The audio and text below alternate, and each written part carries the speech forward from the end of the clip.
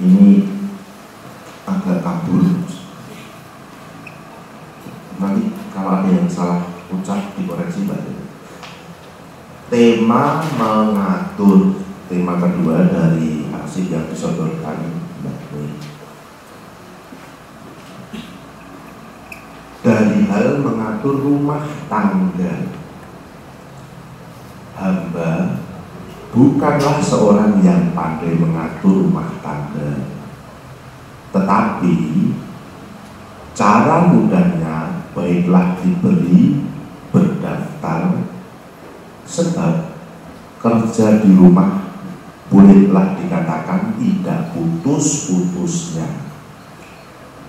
Sebab itu lebih baik diberi peraturan supaya jangan ragu-ragu akan bekerja.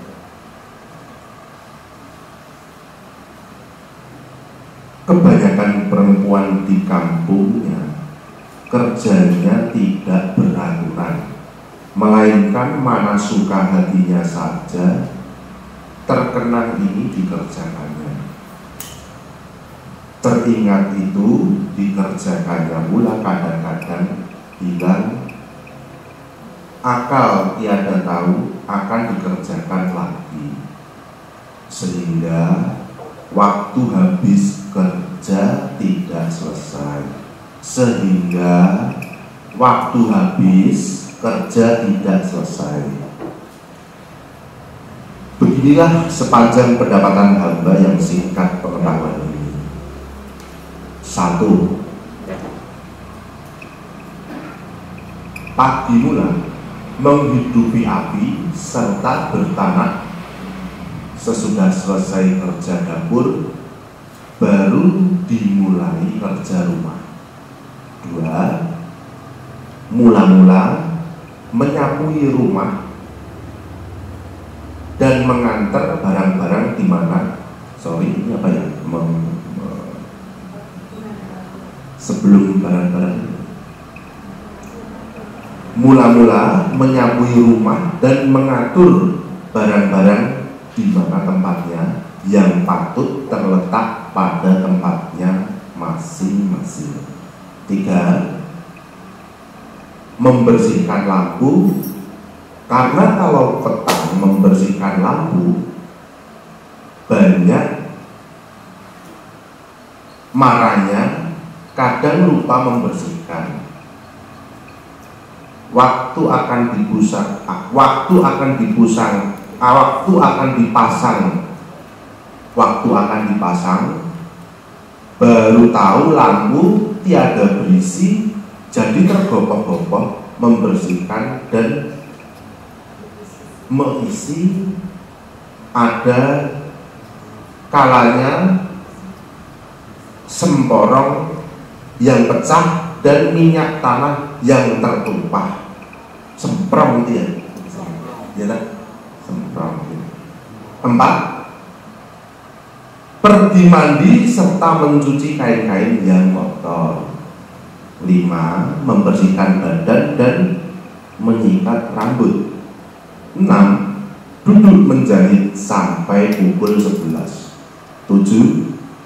Pukul sebelas pula ke dapur akan memasak makanan yang akan dimakan pukul 1 8 setelah selesai makan haruslah kita duduk pula menjahit atau membaca dan menulis sampai pukul 4 wah ini menulis cuma berapa jam ini?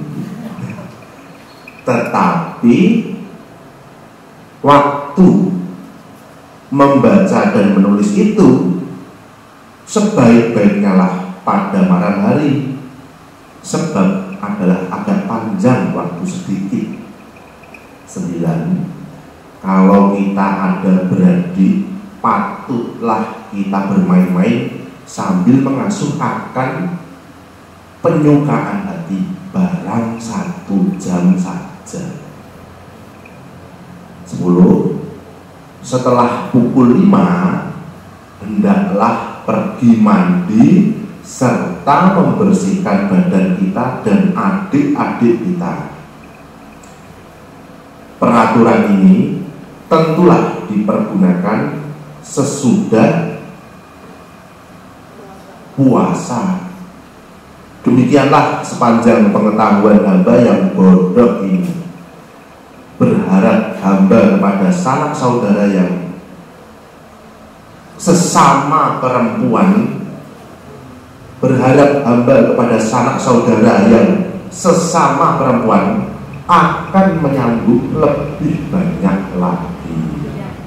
Akan menyambung lebih panjang lagi.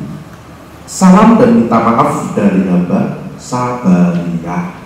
Binti Raja Maulana Onderweer Asam Kumbang gitu ya Oke. Berikutnya ini ini tadi yang disampaikan Mbak Mimi ya di dalam care itu ada order gitu ya Pak melepas gelas yang berdempet dua. Gelas yang melekat satu sama lain mudah terlepas kalau yang di atas diisi dengan air dingin dan yang bawah direndam dengan air panas mencuci gelas. Gelas yang tidak terlalu kotor dapat dicuci biasa dengan air sabun dan abu gosok supaya gelas dapat berkilat dan bersinar. Setelah dicuci diremaskan jeruk nipis ke dalamnya dan dicuci kembali. Membersihkan kaca kaca dari lemari buku atau jendela dibersihkan dengan cara menggosok terlebih dahulu dengan kertas koran yang basah cara menggosoknya dari kiri ke kanan dan dari atas ke bawah. Ini diulangi beberapa kali, baik di bagian depan atau belakang. Sesudahnya, digosok dengan kertas koran yang kering, kaca saudara akan bersinar bersih. Membersihkan teko teh untuk menjaga supaya rasa harum teh tetap murni rasanya teko teh hendaknya jangan saudara cuci dengan sabun tetapi dengan soda atau air abu sebelum menyedar teh tekonya dicuci dulu dengan air panas berikutnya membersihkan piring atau barang-barang porselen barang-barang itu terlebih dahulu dibersihkan dengan air sabun yang panas. Kalau barang-barang porselen itu telah kuning, dapat saudara rendam dulu dengan air soda beberapa jam dan kemudian dicuci dengan air sabun.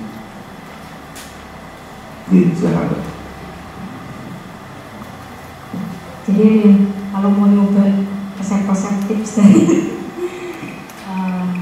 Iya sih, itu yang ini sebenarnya memasukkan ini juga bagian dari ngobrol dengan IFA gitu ya. Uh, kan Mas Edi, Mas San sebagai uh, Mas San itu uh, pustakawan dan Mas Edi yang uh, urusan rumah tangga IFA gitu. terus uh, ya IFA sebagai tempat arsip kan juga ya banyak tempat ya ini rumah domestik juga ada dapur terus kalau ada yang datang juga menyediakan makanan dan dan jadi kepikiran juga ya kerja domestik kerja rumah tangga itu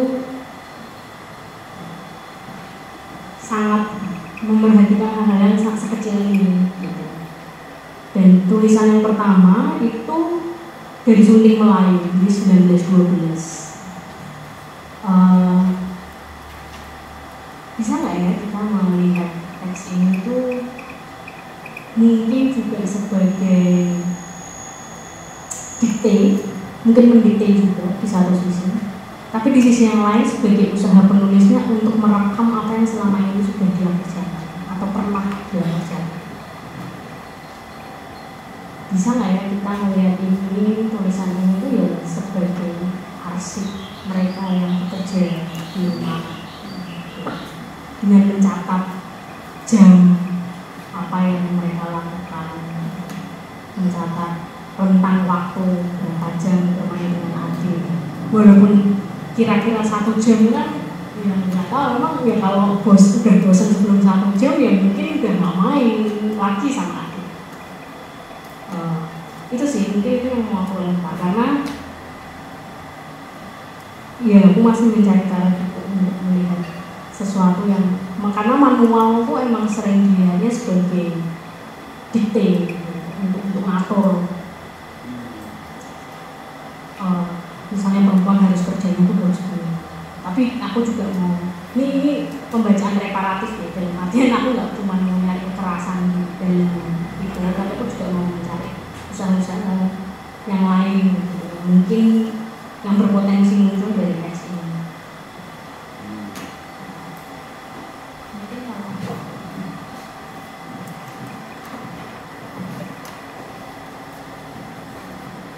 Halo, uh, halo nih, kira-kira saya Astrid dari Ruas. Uh, menarik sekali ya, saya, saya berpikir banyak sekali dari tadi berseliweran. Uh, tadi saya terutama ingin menanggapi uh, soal higienitas, sanitasi higienitas. Uh, saya punya proyek pribadi dari pandemi yang yang sedang menggali perempuan-perempuan Tionghoa peranakan di keluarga saya yang kebetulan juga uh, ini jadi poin yang penting akhirnya dari penjelasan Mika uh, dididik secara Hollandspreken. Jadi mereka, mereka memang pada periode itu dididik uh, oleh sekolah-sekolah Belanda. Uh, ada satu sosok tante oma saya yang jarak hidup apa jarak sorry tante saya kakak kakak nenek saya ya saya masih pusing dengan istilah itu banget. Uh, tapi yang menarik adalah dia di tahun 1920 sudah sempat bersekolah ke Inggris. Uh, saya bingung kenapa dia bisa sampai di sana. Satu.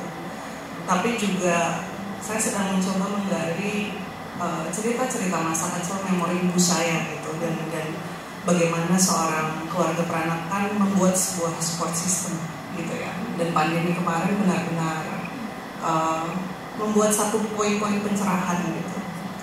Jadi karena sepertinya ada satu periode di mana nenek saya itu sibuk uh, di masa perang Jepang, sibuk bikin kue untuk survival keluarga karena kakek saya yang yang kerja untuk Belanda diberhentikan gitu. Jadi dia cuma ngasih les bahasa Inggris.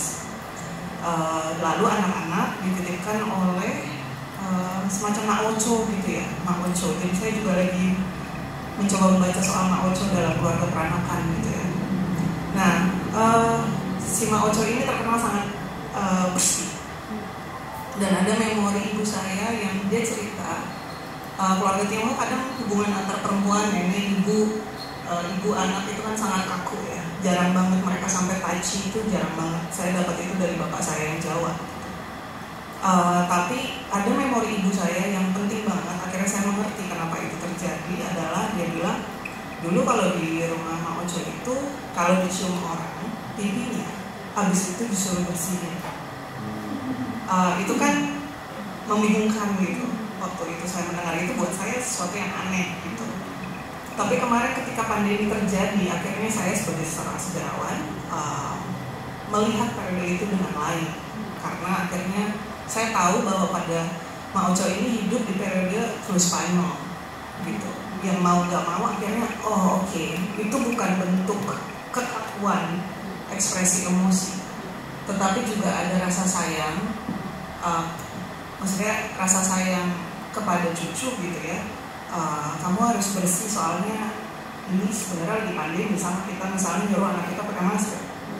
Saya mulai melihat logika-logika yang sangat berbeda gitu yang tadinya saya aduh kaku banget sih? Gitu kan. Kenapa sih mereka kayak gitu apa mereka tidak punya perasaan-perasaan afeksi gitu. Ya nah yang paling lucu dari dari saya rasa pengalaman saya sebagai seorang perempuan juga uh, melihat sejarah ibu saya melihat sejarah nenek saya di ruang domestiknya gitu ya. Ibu saya ibu bekerja uh, pengajar gitu ya.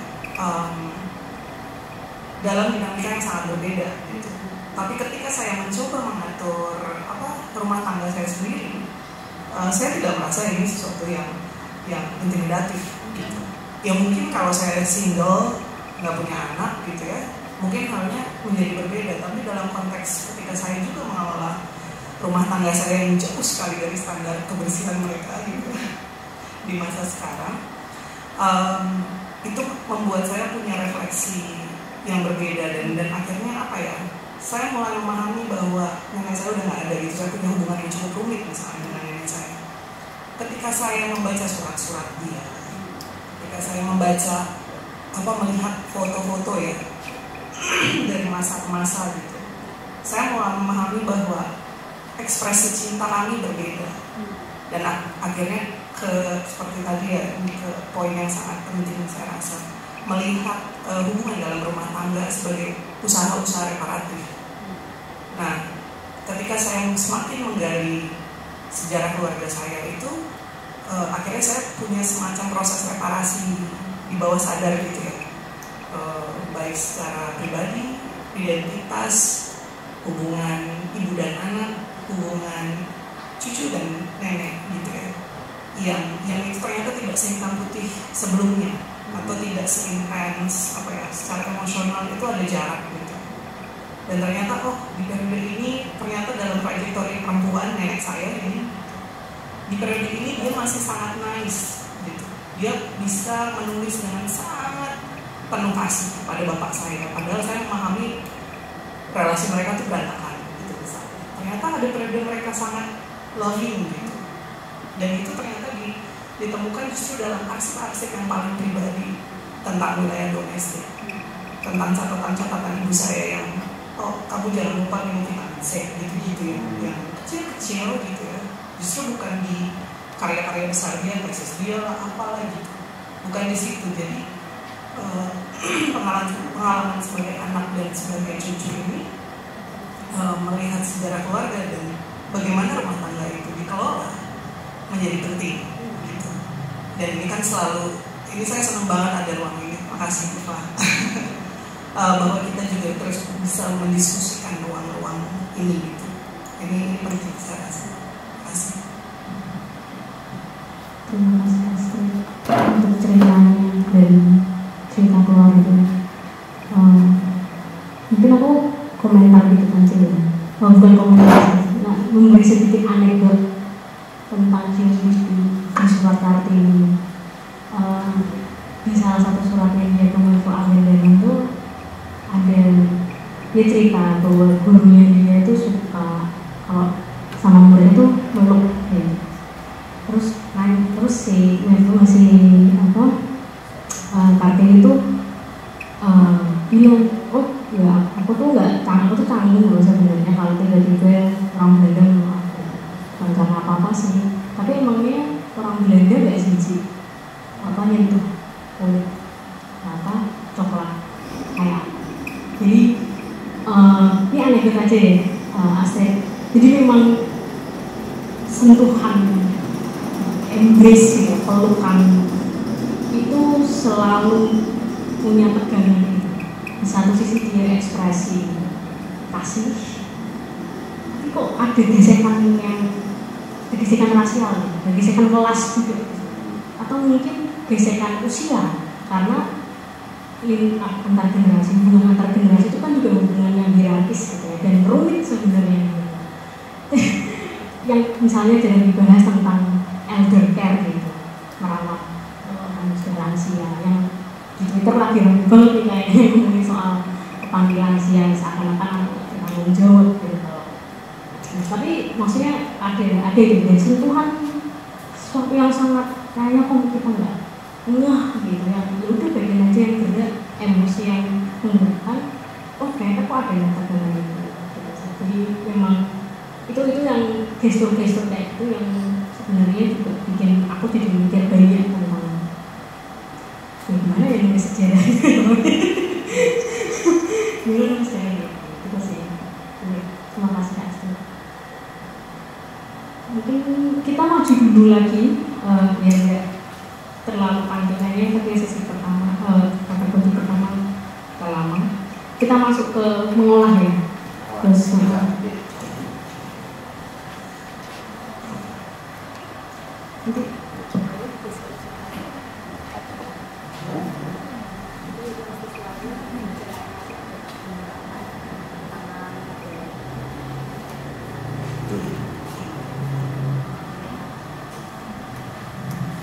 tema ketiga me atau kategori ketiga mengolah.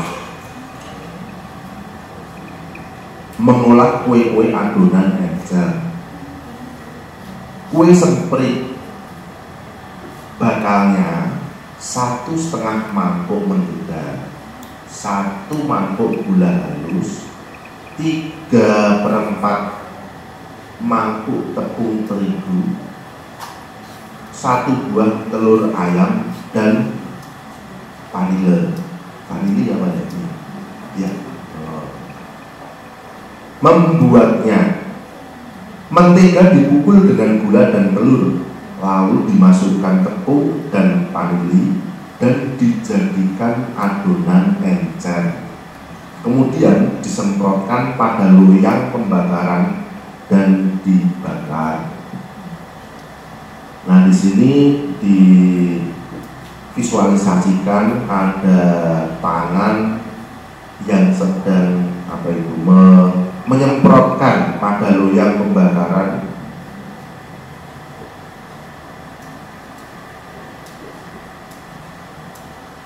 Ininya ya uh, adonannya itu gambarnya motifnya ya motifnya bunga. Ada ya ada sekitar 12 gitu ya.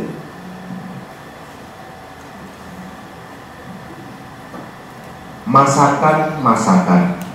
Kimlo seekor ayam dipotong-potong dan rebus dadanya diperbuat per kedel dengan satu telur sedikit merica pala bawang merah dan sedikit bawang putih digoreng. Kalau sudah kuning, beri satu sendok makan kecap. Tuang dengan air rebusan ayam tadi dan masukkan gula, kol kacang, kol kacang goreng yang mentah dan kuping tikus.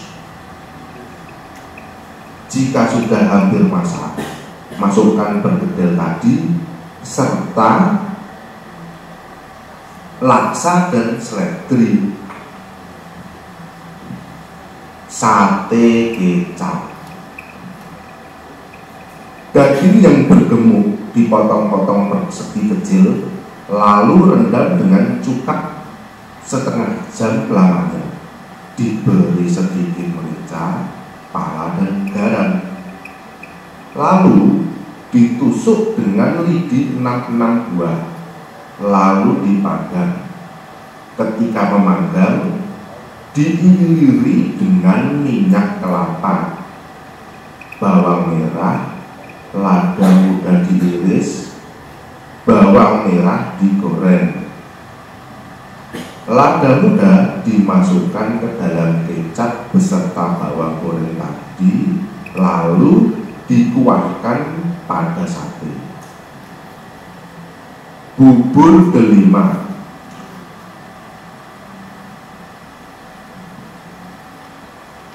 satu kaki sagu Perancis dipecah dengan air panas-panas kuku sesedangnya kerasnya adonan ini diletakkan di atas papan dan ditipis-tipiskan kira-kira setebal setengah sentimeter diberi bergincu merah muda dan jemur atau keringkan sebentar. Jika telah bulir rasanya, jika telah bulir rasanya dipotong-potong, hendaklah diiris-iris sebesar-besar biji delima dan dimasukkan ke dalam air yang sedang mendidih. Kalau sudah masak, keluarkan ke tepisan rendamkan sebentar ke dalam air dingin dan saling ke. Kalau sudah dingin, masukkan ke dalam gula pasir yang telah dihancurkan, beri sedikit vanila. Memakannya dengan santan yang telah dimasak dengan santan. Seperdua dari adonan itu boleh juga diberi berginju hijau atau dalam kurung daun pandan ditumbuk tertanda R padang panjang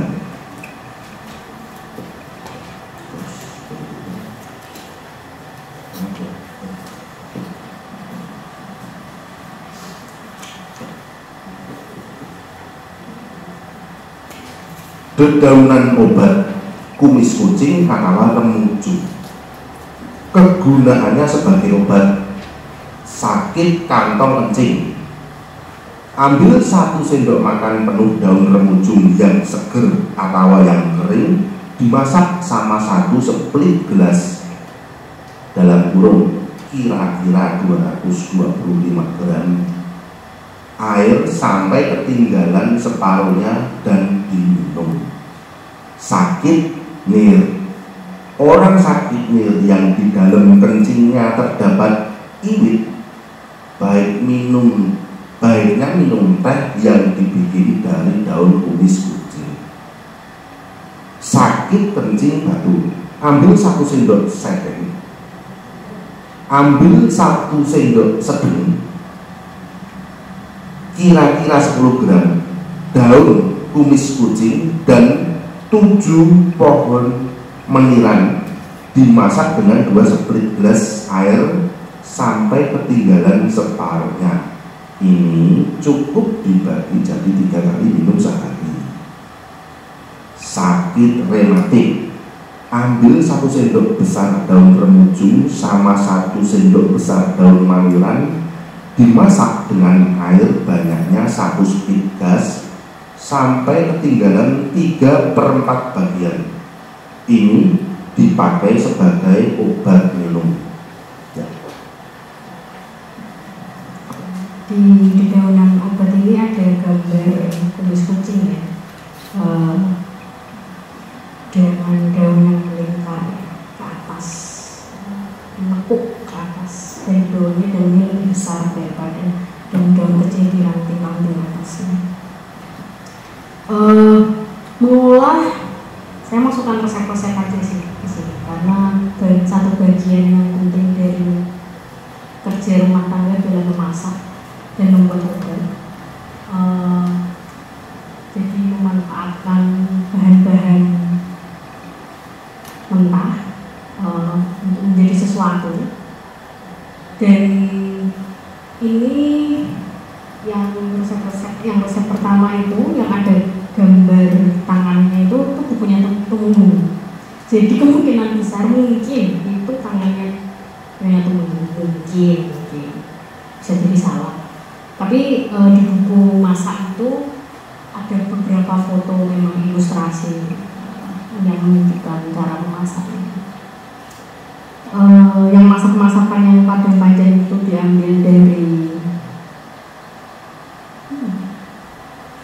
majalah eh dunia eh dunia istri eh dunia istri uh, asuhannya Nina Tumenggung juga dan yang di daunan obat itu dari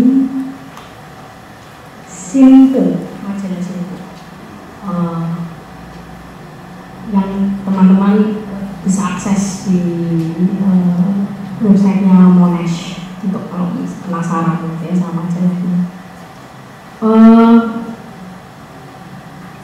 mengolah resep itu kalau kan resep itu banyak banget ya dan itu kadang-kadang saya keluar berulang nasi goreng nasi goreng di tahun 1912 gitu misalnya keluar lagi nanti di tahun 1930 keluar lagi di tahun jadi yang ini, ini bayangan gue ya kayak aku membayangkan sebuah alur begitu jadi toh pun resep itu ditempatkan itu kan nggak semua ya pembacanya sangat spesifik.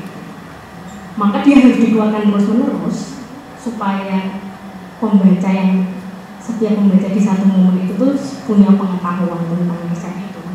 Entah nanti bikinnya sama kayak itu atau enggak ya nggak tahu. Tapi yang penting itu harus dikeluarkan terus terus lagi dan lagi. Karena dengan dengan dengan asumsi ya pengetahuan rasa itu nggak semua orang bisa akses nggak bisa tahu bahkan ketika misalnya turunkan misalnya dari orang tua resepnya oh ya mungkin ada cara lain ada ada cara lain untuk membuat nah tapi penekanan di mengolah itu sebenarnya yang